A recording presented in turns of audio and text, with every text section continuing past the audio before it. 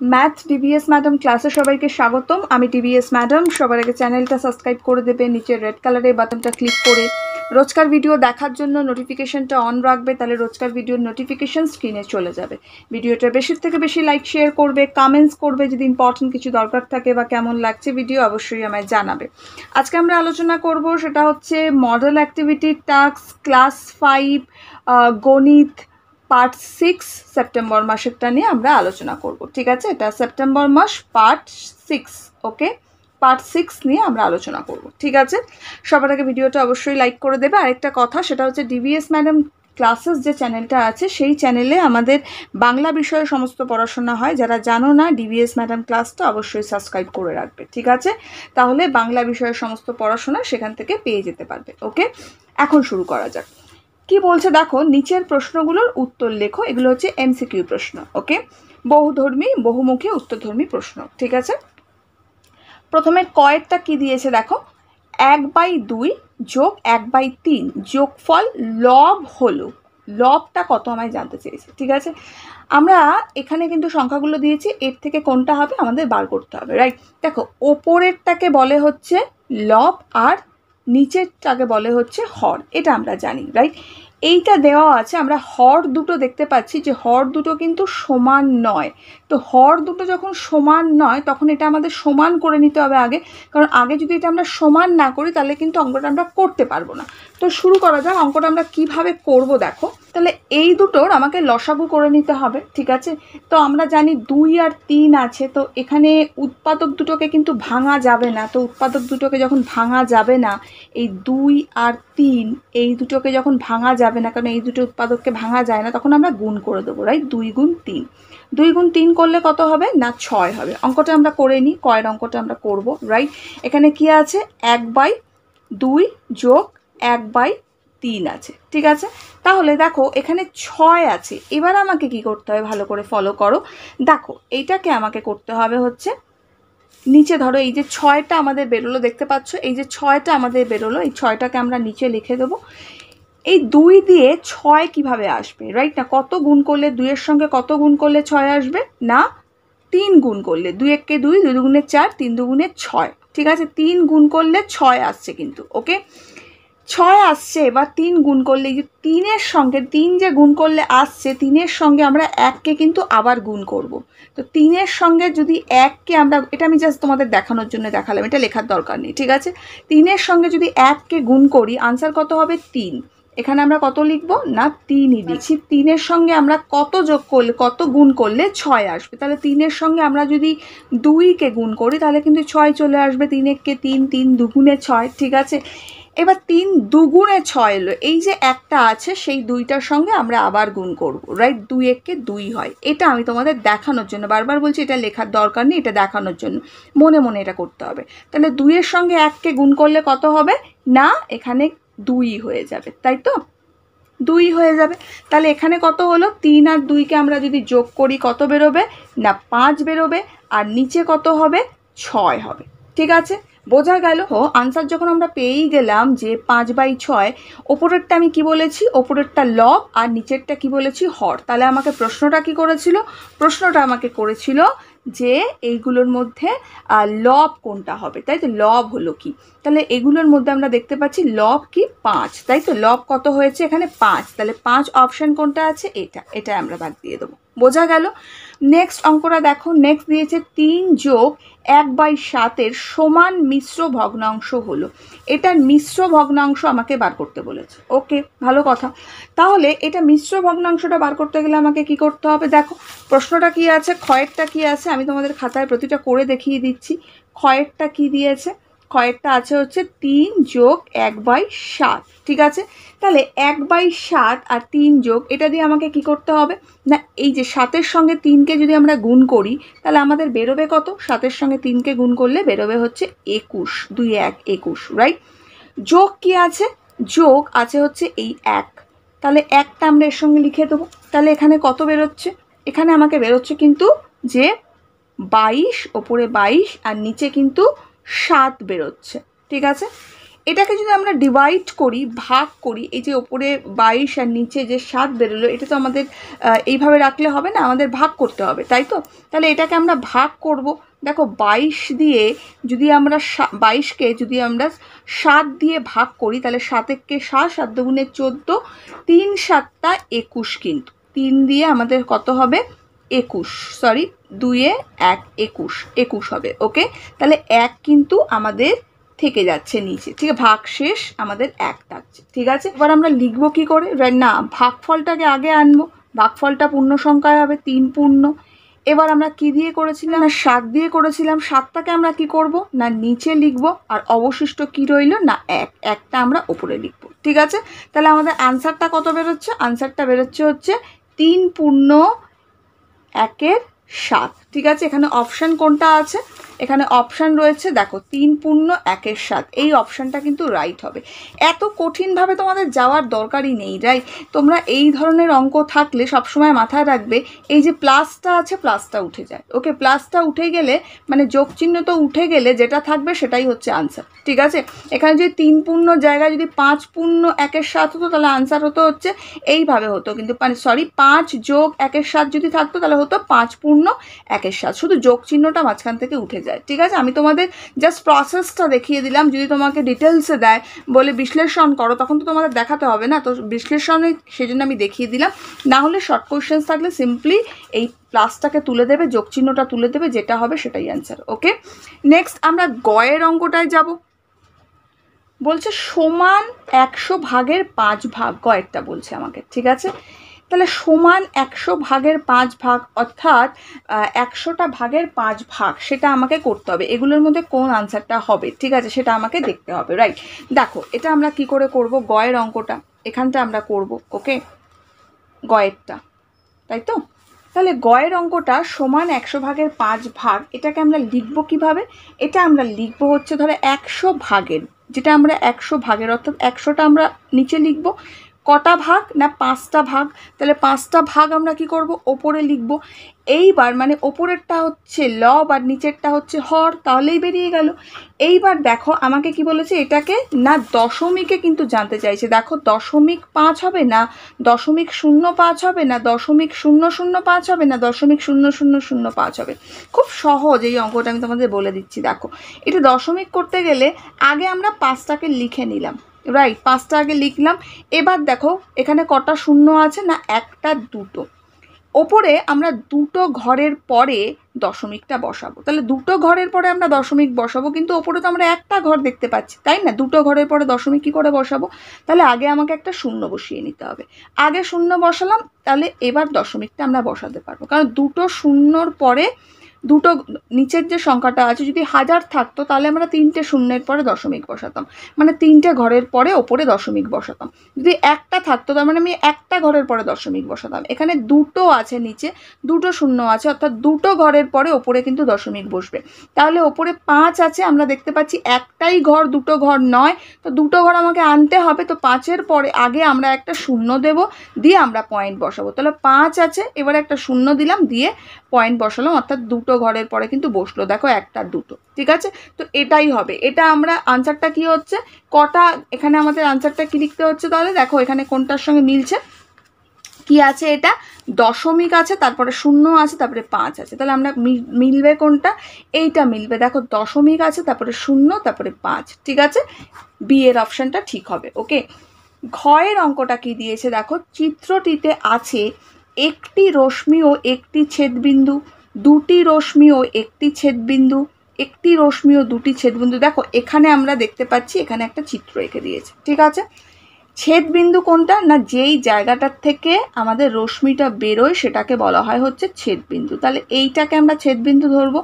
এখান থেকে কিন্তু রশ্মিটা বেরোচ্ছে। ঠিক আছে? ধরো তোমার সবচেয়ে সহজে তোমাকে কি বোঝাই আমি? ধরো একটা টর্চ, ঠিক আছে? টর্চের একটা পার্টিকুলার জায়গার থেকে কিন্তু রশ্মিটা বেরোয়, ঠিক আছে? কিন্তু ছড়িয়ে যায় সব জায়গায়, ওকে?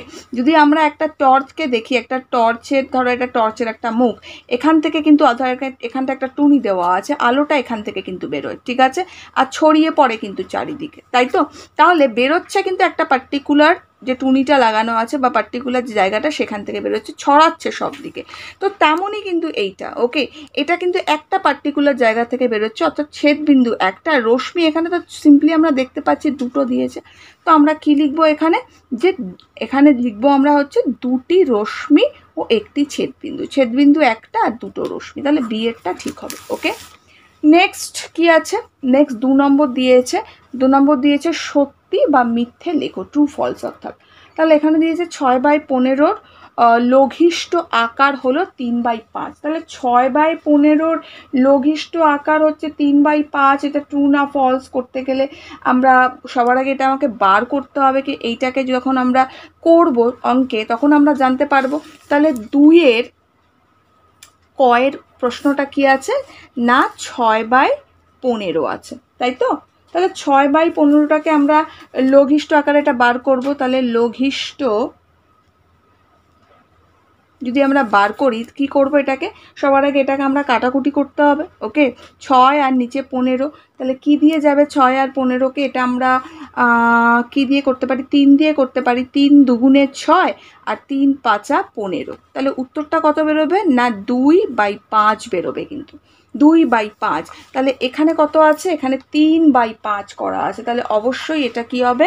ফলস হবে। উত্তরটা এখানে কি করব? আমরা ফলস করব ওকে কেন আমাদের বেরোলো কত কাটাকুটি করে? বেরোলো দুই বাই পাঁচ। কিন্তু আমাদের এখানে দেওয়া আছে তিন বাই পাঁচ। তো হবে না। নেক্সটটা কি বলেছে? একটি বর্গাকার চিত্রের একটি বাহুর দৈর্ঘ্য। এটা তো ফর্মুলা আছে ফর্মুলা দেওয়া আছে, বর্গাকার চিত্রের ফর্মুলা কি আছে? বর্গাকার চিত্রের পরিসীমা আর নিচে চার বসাতে হয়। তো এটাই দেওয়া আছে, বর্গাকার চিত্রের পরিসীমা বাই চার দেওয়া আছে। তো এটাই হবে ফর্মুলা তো এটা হচ্ছে ট্রু করব আমরা। এটা আমরা টি লিখব। নেক্সটটা দেখো কি আছে? নেক্সটটা গয়েরটা বলেছে, একটি বোতাম বর্গাকারে সাজালে একটি শাড়িতে বোতাম সংখ্যা হবে নয়টি। মানে বলেছে সরি একশোটি বলেছে, আমি একটি বললাম।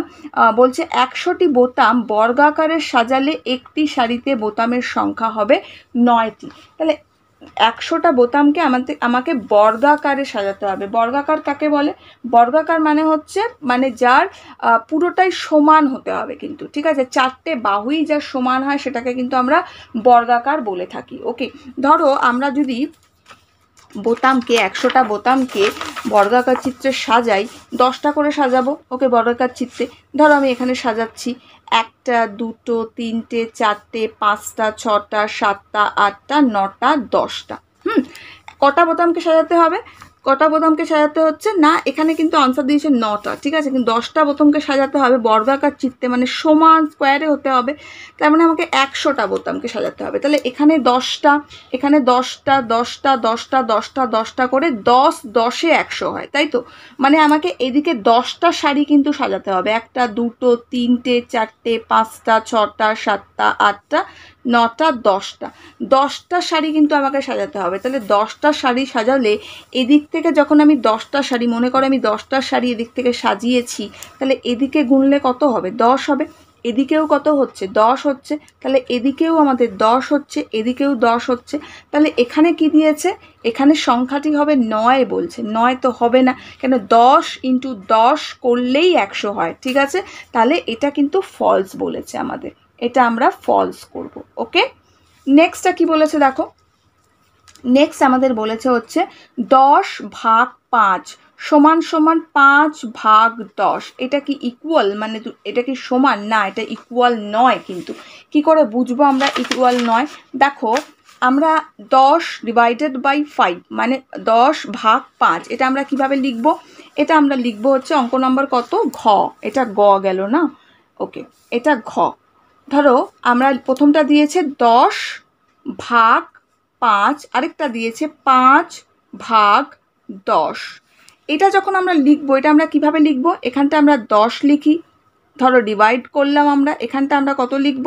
পাঁচ লিখব। অর্থাৎ এভাবে সাজালে ভাজ্য কোনটা বেরোচ্ছে না দশ? দশটা কিন্তু ভাজ্য, তাই তো? দশটা বেরোচ্ছে আমাদের ভাজ্য আর পাঁচটা হচ্ছে ভাজক, তাই তো? এটা ভাজক। এইটাকে যদি আমরা লিখি, এটা আমরা কীভাবে দাঁড়াবে? দেখো, এইটা দেওয়া আছে, অর্থাৎ পাঁচকে আমাকে করতে হবে, পাঁচকে আমাকে করতে হবে, দশ দিয়ে করতে হবে। অর্থাৎ পাঁচ আমাদের দাঁড়াচ্ছে কি? না ভাজ্য, আর দশ আমাদের দাঁড়াচ্ছে কি? না ভাজক। তাহলে দুটো কি সমান? না, দুটো সমান নয়। তার মানে এইটা আমাদের অ্যান্সার করতে হবে ফলস ওকে এটা আমরা ফলস করব, ঠিক আছে?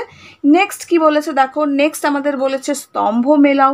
স্তম্ভ আমরা কীভাবে মেলাবো? তো স্তম্ভটা দেখে নিই কী দিয়েছে আমাদের। দিয়েছে সরল রেখা ওকে সরল রেখা কি বলেছে? এদিকে দেখি, এদিকে দিয়েছে দুটি প্রান্তবিন্দু আছে প্রান্তবিন্দু নেই, একটি নির্দিষ্ট ছেদ বিন্দুগামী একটি প্রান্ত, একটি প্রান্তবিন্দু আছে রাইট তাহলে এইটা আমাদের কি করতে হবে? দেখো, এইটা কিন্তু আমাদের করতে হবে হচ্ছে, প্রথমে হচ্ছে সরল রেখা। সরল রেখা আমাদের কি হয়? সরল রেখাটা দেখো, কোথায় গেল খাতাটা? এই যে, সরল রেখাটা দেখো, সরল রেখা আমাদের কীরকম হয়? সরল রেখা আমাদের হয় হচ্ছে, এরকম একটা দাগ দেব একটা অ্যারো দিতে হয় আমাদের, দুদিক থেকে অ্যারো থাকে, এটা হচ্ছে সরল রেখা রাইট তার মানে সরল রেখা এখানে কি বলেছে? না, প্রান্ত বিন্দু নেই, প্রান্ত বিন্দু নেই, ঠিক আছে? তো আমরা করব কি? প্রান্ত বিন্দু নেই কিন্তু সরল রেখা, ঠিক আছে? এটা আমাদের প্রান্ত বিন্দু নেয়ের সঙ্গে ম্যাচ করব ওকে দেখো, এর মানেটা দাঁড়াল হচ্ছে প্রান্তবিন্দু নেই কথাটার মানে কি? যে আমি অ্যারো দিয়ে দিলাম, অর্থাৎ এটা আমি যত দূর ইচ্ছা কিন্তু তত দূর টানতে পারি, এদিক থেকেও টানতে পারি, এদিক থেকেও টানতে পারি। অ্যারো দিয়ে দিয়েছি এই জন্য আমি, ঠিক আছে? তো তার মানেটা দাঁড়াচ্ছে এটার প্রান্তবিন্দু নেই মানে যত দূর ইচ্ছা যাবে এটা, ঠিক আছে? তো সেই জন্য কি আছে? এটা আমরা প্রান্তবিন্দু নেই করব। নেক্সট কি বলেছে? সরল রেখা অংশ। সরল রেখা অংশ মানে কি? মানে একটা সরল রেখার একটা পার্টিকুলার অংশ। আমরা এরকম একটা দাগ দিয়ে দিলাম, তাহলেই হয়ে গেল কিন্তু সরল রেখা অংশ। মানে একটা পার্টিকুলার অংশ আমি চেয়েছি, ঠিক আছে? এটা আমরা কি করব? না, এটা আমরা করব কিন্তু প্রান্ত বিন্দু আছে, কারণ এটা একটা পার্টিকুলার অংশটাকে নিচ্ছি, পুরো সরল রেখাটা নিচ্ছি না কিন্তু। তো আমরা এটা করব হচ্ছে দুটি প্রান্ত বিন্দু আছে, ঠিক আছে? এটা দুটো প্রান্তে বিন্দু আছে, ঠিক আছে? নেক্সটটা কি দাঁড়াচ্ছে দেখো নেক্সট বলেছে হচ্ছে রশ্মি ওকে রশ্মি কি বলেছে? দেখি, রশ্মি বলেছে একটি নির্দিষ্ট ছেদবিন্দুগামী ওকে একটি নির্দিষ্ট ছেদবিন্দুগামী, একটি প্রান্তবিন্দুগামী। এটা হবে হচ্ছে একটি প্রান্তবিন্দুগামী। কারণ একটা প্রান্তর থেকে কিন্তু রশ্মিটাকে বেরোচ্ছে। রশ্মি যখন বেরোয়, ধরো একটা রশ্মি, একটা এইখান থেকে রশ্মিটা বেরোচ্ছে, তো আমরা এইভাবে কিন্তু রশ্মিটা বেরোচ্ছে। মানে একটা পার্টিকুলার প্রান্তর থেকে কিন্তু রশ্মিটা বেরোয়, তো একটা প্রান্ত বিন্দুগামী হবে। ঠিক আছে? তো এটা আমরা কি করব? না, একটি প্রান্তবিন্দুগামী হবে। ওকে, করব। ঠিক আছে? নেক্সটটা কি করছে? নেক্সটটা আমরা করব কি?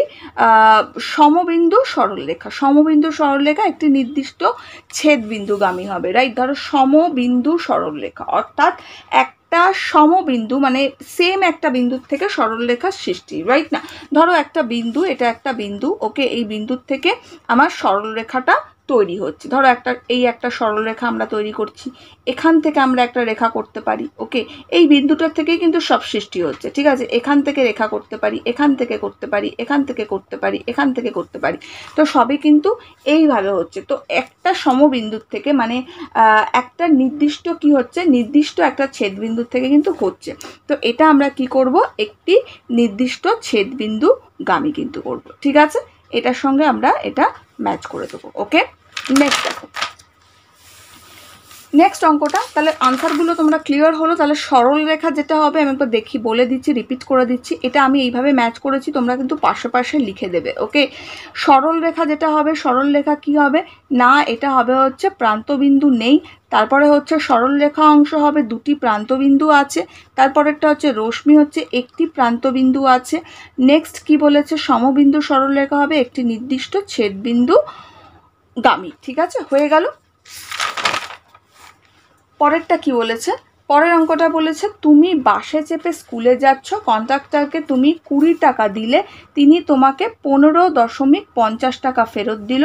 কন্ট্রাক্টর কত টাকা নিলেন? খুবই সহজ অঙ্ক, জলের মতো অঙ্ক, ঠিক আছে?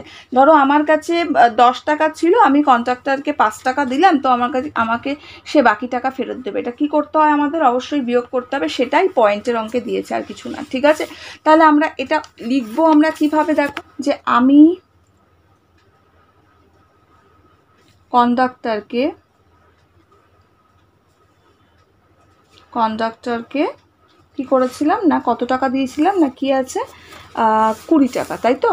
তো টোয়েন্টি লিখব, কুড়ি টাকা দিলাম লিখি ওকে এবার কি বলেছে, তিনি আমাকে পনেরো টাকা ফেরত দিয়েছিলেন। তো আমি কি লিখতে পারি? যে কন্ডাক্টর আমাকে কত টাকা ফেরত দিয়েছিল? না, পনেরো পয়েন্ট পঞ্চাশ টাকা ফেরত দিল, ওকে? ঠিক আছে? তাহলে এবার আমাকে কি বলেছে যে কন্ডাক্টর কত টাকা নিলেন, কত টাকা নিয়েছিল? তাহলে আমরা এখানে এটা করব আমরা যে কন্ডাক্টর ক দন্তের নয় দয় আকার কয়টয় র কন্ডাক্টর নিলেন। এবার আমাদের কি করতে হবে? বিয়োগ করতে হবে। তো আমরা এটা কী করব? এখানে দেখো পনেরো দশমিক পঞ্চাশ আছে, এখানে কুড়ি আছে। তো আমরা একটা দশমিক দিয়ে দুটো শূন্য নিতেই পারি, কোনো অসুবিধা নেই, তাই তো? এবার আমরা নর্মাল বিয়োগটা করব। শূন্য শূন্য আছে, এখানে শূন্য করব, এখানে পাঁচ আছে, ওপরে শূন্য আছে তো ওপরে যে শূন্য আছে, এটাকে আমরা এক ধরে নেব। এক পাশের ঘর থেকে ধরবো, পাশের ঘরে কোনো সংখ্যা নেই, তাহলে আমার দুইয়ের থেকে ধার নিতে হবে। দুইয়ের থেকে আমরা এককে ধার নিয়ে এখানে এক করলাম। পাশের ঘরে আমরা এটাকে কি করব? পূর্ণ করব মানে শূন্য আছে। তো এটাকে আমরা দশ করে নিলাম আগে। এটা আমাদের দশ হয়ে গেল। এবার এই দশটাকে, দশ ধরো হয়ে গেল, এটাকে কেটে আমরা নয় করব এখানে। নয় করে কি করব? আমরা একটা এখানে করব। ঠিক আছে? তাহলে এখানে হয়ে গেল কত? দশ। তাহলে পাঁচের পরে ছয়, সাত, আট, নয়, দশ। পাঁচ ঘরে হলো দশ। পাঁচ করলাম। পয়েন্ট বসালাম এখানে আমরা, ওকে? এবার ওপরে কত আছে? নয় আছে, আর নিচে কত আছে? পাঁচ আছে। তাহলে নয়ের থেকে পাঁচকে যদি আমরা বিয়োগ করি, কত দাঁড়ায়? না, চার হয়। চার করে নিলাম। এবার এখানেও এক আছে, এখানেও এক আছে, অবশ্যই শূন্য হবে। তো লেখার দরকার নেই, তাহলে চার টাকা পঞ্চাশ পয়সা, ওকে?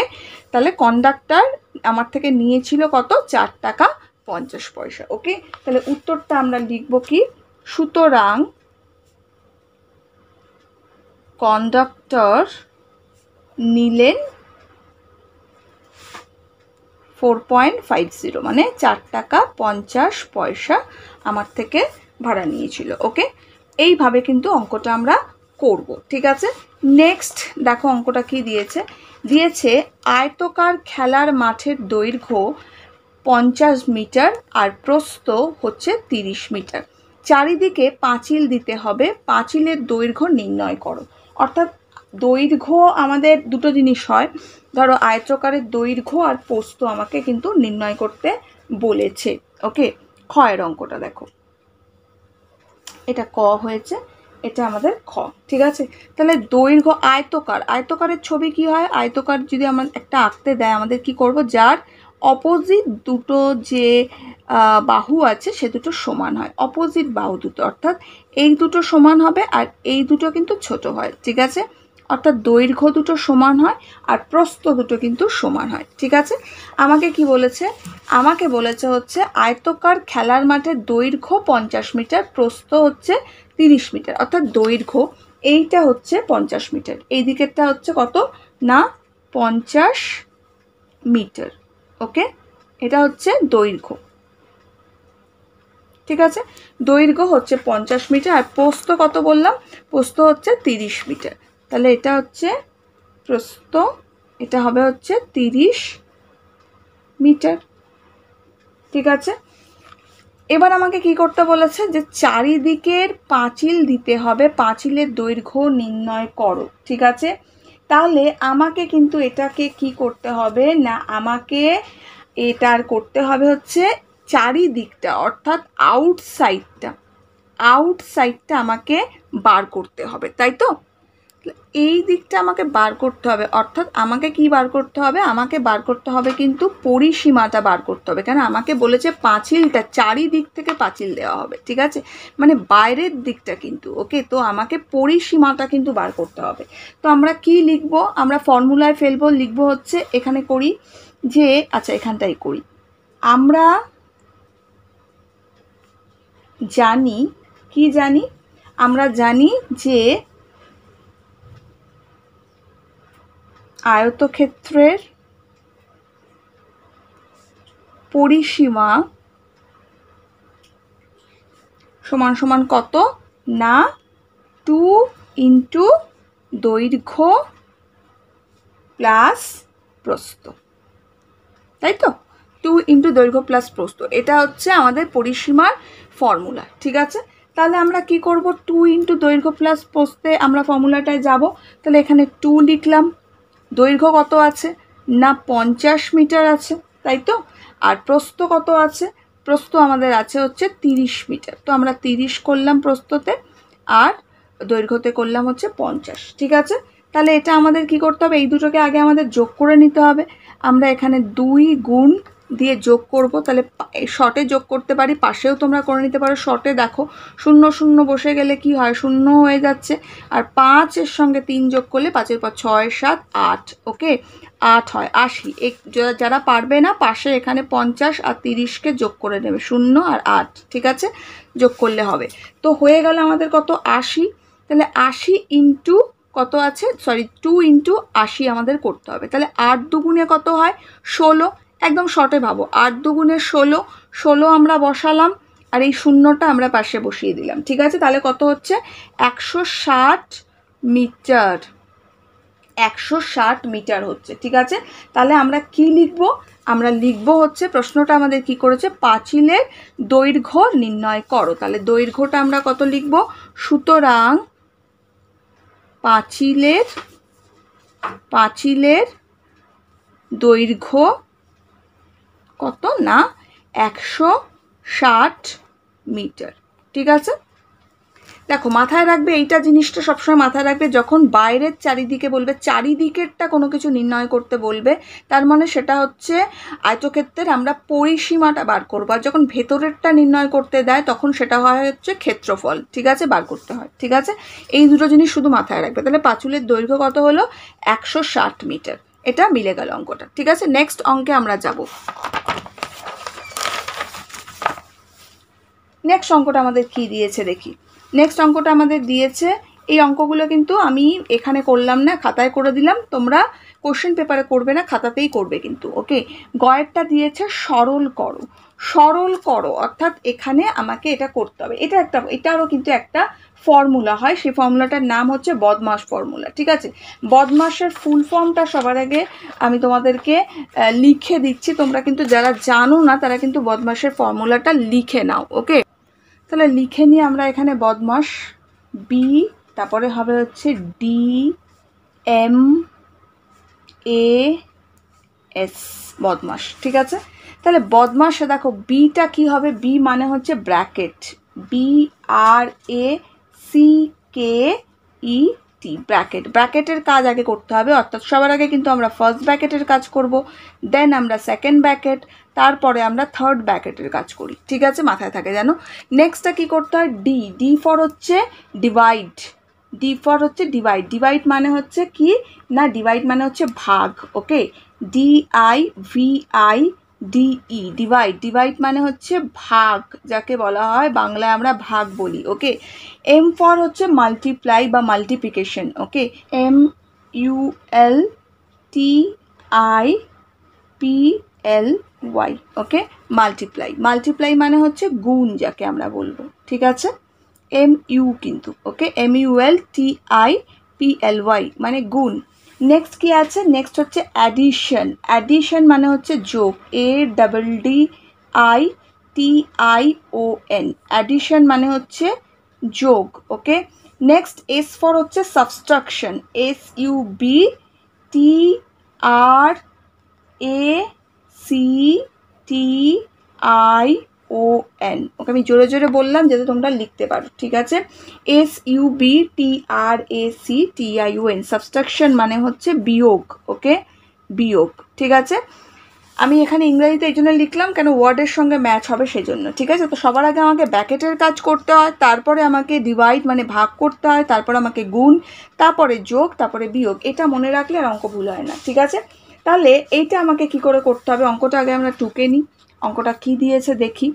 অঙ্কটা দিয়েছে হচ্ছে, এটা হচ্ছে পঞ্চাশ মাইনাস দুই যোগ তিন, তারপরে হচ্ছে যোগ ফিফটিন ওকে টুয়েলভ রাইট তাহলে এটা আমাকে কি করতে হবে? সবার আগে আমরা কোন ব্যাকেটের কাজ করব? না, সবার আগে কিন্তু আমরা করব হচ্ছে ফার্স্ট ব্যাকেটের কাজ করব। ওকে তারপরে আমরা কি করব? না সেকেন্ড ব্যাকেটের কাজ করব। তারপর আমরা কি করব? না থার্ড ব্যাকেটের কাজ করব। ঠিক আছে? মনে থাকবে? এইবার কিন্তু আমরা অঙ্কটা শুরু করব। ওকে তাহলে সবার আগে আমরা কি করছি? ফার্স্ট ব্যাকেটটা করব।